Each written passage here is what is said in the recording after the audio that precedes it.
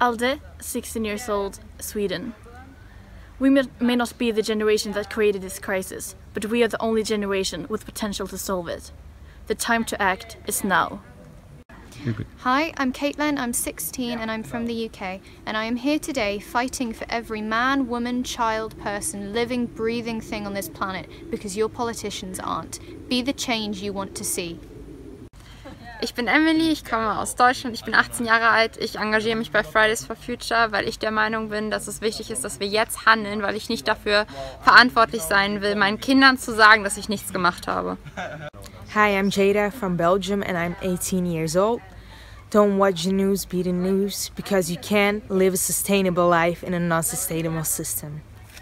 Hallo, ich bin Markus, ich bin aus Deutschland, ich bin 18 Jahre alt und ich streike, weil ich Taten von der Politik will und nicht nur Solidarität. I'm Simon. I am a, 16.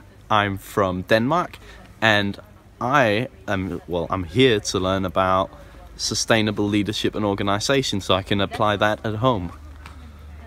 Hi, I'm Sofia. I'm from Italy and I'm 16. I'm here because I think that we have to fight for our future because we have we haven't created this problem, but we will be the first generation to suffer that, and we have to make sure that every generation, our and in future, will have a nice life.